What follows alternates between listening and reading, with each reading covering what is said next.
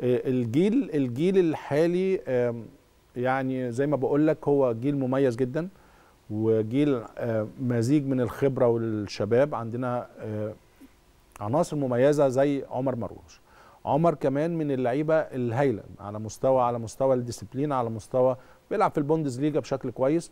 ويمكن خلال الثلاث سنين اللي فاتوا هو كمان مر بعملية transfer شوية كان بيلعب في فولفسبورج بعدين راح سان باولي في الدرجة الثانية لكن لعيب مميز يحسب طبعا لكروش إنه ضمه بشكل كبير واداله الثقة. ودي اللي عايز أتكلم عليها إنك واحد زي محمد عبد المنعم.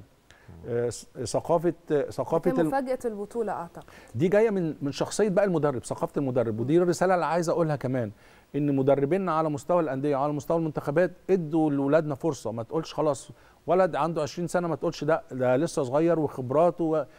لازم ياخد الخبرات ديت. مين يقول إن محمد عبد المنعم عنده 22 سنة بيلعب أول بطولة أفريقية بالنسبة له بطولة كبيرة جدا وبيظهر هذا- المستوى. لو كروش ما جابش مثال زي محمد عبد المنعم عندنا أمثلة كتيرة زي طبعا. محمد عبد المنعم أمثلة كتيرة جدا. طبعا. فلازم طبعا إن إحنا يكون عندنا آه، عندنا الجراءة شوية إنك تدي الولاد الصغيرين وما تخافش. يعني دي دي أنا كمان اتعلمتها في ألمانيا. ألمانيا بيشتغلوا بالنظام دوت.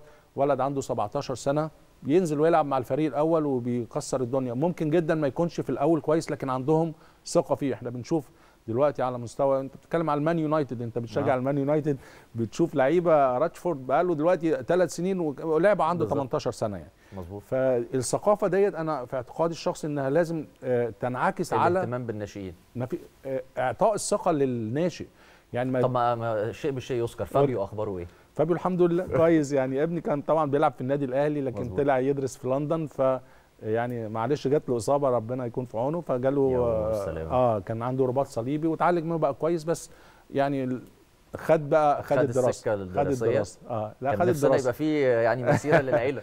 يعني يعني ربنا طبعا طبعا الحتة دي كمان مهمة جدا إن خلاص هو اللي بيحدد طريقه. يعني كان معايا كده مناقشة حادة معاه شوية لأن المدربين وحتى في إنجلترا قال هو كويس بس محتاج شوية إنه يشتغل, بدنيا يشتغل يعني. أكتر و... فهو اتكلمت معاه فقال لأ أنا حابب الدراسة وده طريق فخلاص يعني مفيش ضغط عليه ويعني إن شاء الله ربنا يوفقه في اللي هو فيه.